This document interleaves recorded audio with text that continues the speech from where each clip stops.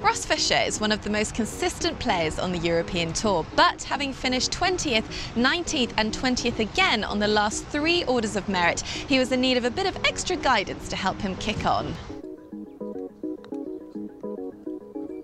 I was really struggling to get the ball to the hole. I felt like I was playing well and just not capitalising on um, making putts. Ken just saw me and um, he felt like he could um, like bring something to my putting and he really opened my mind to putting, trying not to make it too technical, really kind of going back to putting like you were as a kid. His elbows tend to sort of drift away a little bit from his body. I mean, it was a natural thing to do, so if, if, your arms drift away, then it's a little easier for the, the, putter to drift around. It's more likely to go not quite back straight and back, back straight through. But by just snuggling, I'm not talking about wedging it, just snuggling your elbows in a little, it, it does two things. First of all, it, you're more stable. You know, you, you're, you're now got the club in your hand, and because these are tight and you've got your body to hold the club a bit more stable, the whole thing's less likely to rock around. It's like a racing car driver. You wouldn't drive a racing car with your arms out like that because you've got no, you put your arms in here and that gives you that stability. It also slightly changes the plane of his putting stroke. Instead of the putter going back and front like this, it's a little bit more rounded. It made, it made a huge difference. one or two other little things to make sure you keep your head still. And from that point in the season, he, he, he didn't putt consistently well every week, but he had some wonderful weeks where he, you know, he holds some good ones. So we're making a bit of progress. Down the slope, left to right. When he puts well, he plays well. Just catches the left edge. It's in, Ross, don't worry. Kind of taken the, the, the, big forward press out of it. It's just literally a trigger to start my stroke, so there's a tiny press. Um, but he's just made it, you know, fun. Um, you know, as you saw earlier with the, the little gadgets and, um, you know, practicing like pace putting, you know, hitting three putts from uh, the same spot, but one in at firm pace, one at medium, one at slow. So it just gives you a different way of um, approaching putts on the, uh, on the course.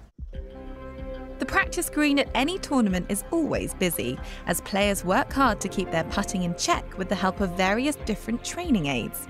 Ken's homemade device is very simple and aims to ensure Ross's practice mirrors tournament play by keeping the putter and ball in exactly the same position as they would be during a round.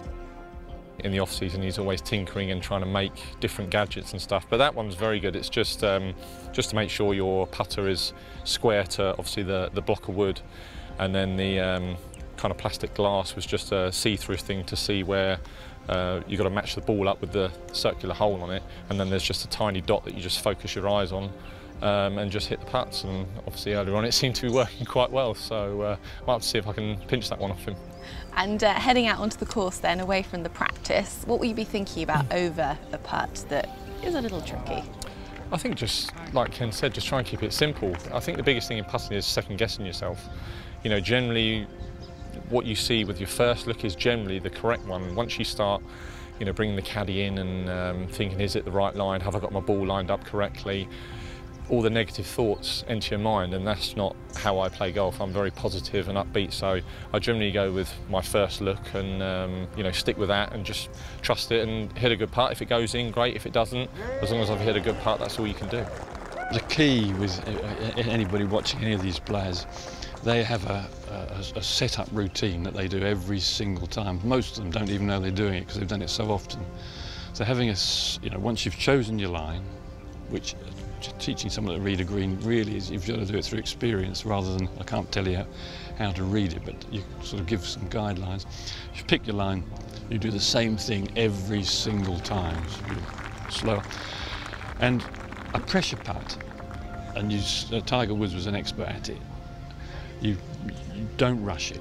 It's a tendency, let's get it over with. This, you've got to step up the ball smoothly, take your normal little smooth putting strokes, and actually almost consciously do it marginally slower. There's a tendency, I'll get it over with, I'll either hold it or I'll miss it.